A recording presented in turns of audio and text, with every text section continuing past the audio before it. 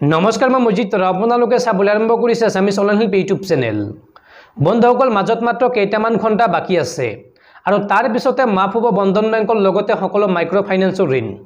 হয় ষোল্ল জুলাই অৰ্থাৎ অহাকালি বন্ধন বেংকৰ লগতে সকলো মাইক্ৰ' ফাইনেন্সৰ ঋণ মাফ কৰিব অসম চৰকাৰে।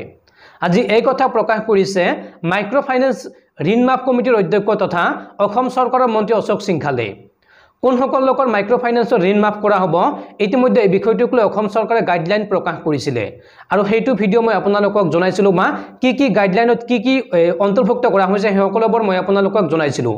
যদি আপোনালোকে সেই ভিডিঅ'টো চোৱা নাই তেতিয়াহ'লে আপোনালোকে চাই ল'ব পাৰে এইটো চেনেলতে দিয়া আছে।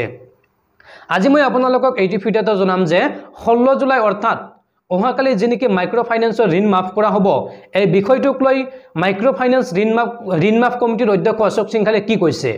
খুব এটা গুৰুত্বপূৰ্ণ ভিডিঅ' আপোনালোকে ভিডিঅ'টো শেষলৈকে চাই থাকিব।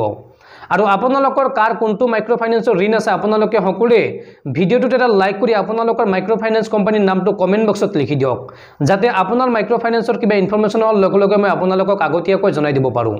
আৰু এনেকুৱা ধৰণৰ নতুন নতুন ভিডিঅ' পাবলৈ চেনেলটো ছাবস্ক্ৰাইব কৰি কাষত থকা বেল আইকনটো প্ৰেছ কৰি ৰাখক।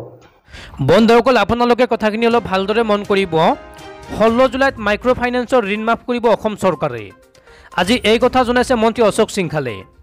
হাতজোৰ কৰি আই মাতৃসকলক চিন্তা নকৰিবলৈ আহ্বান মন্ত্ৰী অশোক সিংঘালৰ।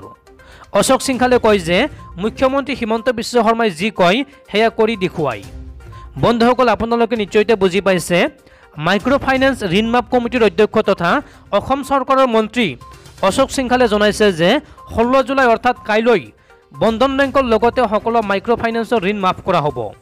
এই ঋণ মাফ কৰা হ'ব আৰ বি আই অৰ্থাৎ ভাৰতীয় ৰিজাৰ্ভ বেংকৰ গাইডলাইন মতে। যিসকল লোকে এই গাইডলাইনৰ ভিতৰত পৰে তেওঁলোকৰ ঋণ মাফ কৰিব অসম চৰকাৰে।